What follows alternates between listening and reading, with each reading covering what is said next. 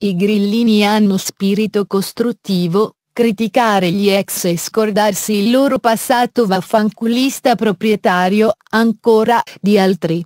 Anime buone nate sotto un cavolo, leggi nulla, irredente alla mangiatoia. Hanno pure senso dell'umor condivisibile, cresciuto in loro per esserne vittime da quel di Angela Raffa, deputata M5 Stelle, 20 gennaio 2021. Fiducia ottenuta.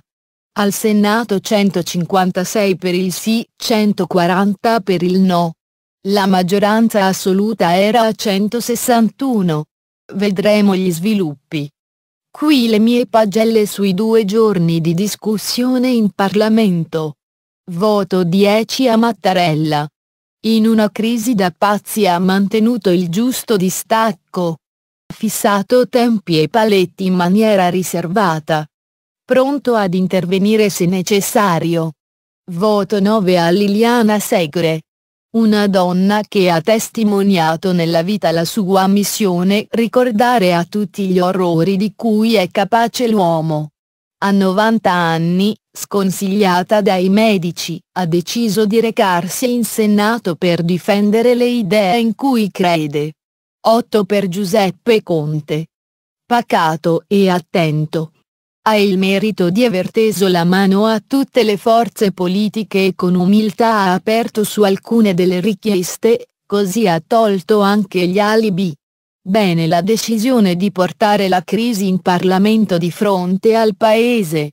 Voto 7 alla Moviola per capire se i due senatori ritardatari potessero votare o no.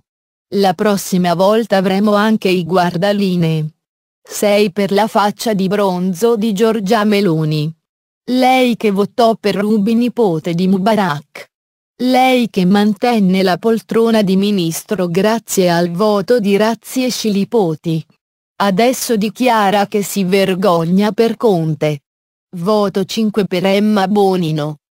Ci sono stati anni in cui poteva giocare un ruolo politico che l'avrebbe consegnata alla storia. È mancato il coraggio di opporsi a Berlusconi e dal sistema. Peccato. Da allora in poi è stata solo decadenza. 4 per Ettore Rosato di Italia Viva. Nel suo intervento esprimendosi male insinua che noi 5 Stelle siamo dei minorati.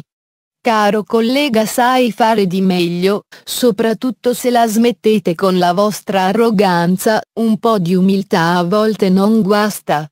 Voto 3 per Isabella Rauti, figlia dell'ex segretario del Movimento Sociale Italiano. Il presidente Conte doveva dirci quando finirà l'emergenza. Ah, cercasi capo di governo munito di palla di vetro. Voto 2 a Matteo Renzi. Da Mentana dichiara, del Rio amico fraterno pone veto su di me. Quando anche gli amici fraterni non ce la fanno più a sopportarti, due domandine è il caso di farsele. Voto 1 a Italia Viva che manda il comunicato, da noi rottura responsabile Italia Viva garantisce astensione, Chissà chi sono stati i pazzi ad avviare questa crisi, premio della giuria Gasparri. È merito di Berlusconi se abbiamo ottenuto i soldi del recovery fund. A breve ci diranno anche chi è stato, in verità, a far resuscitare Lazzarù,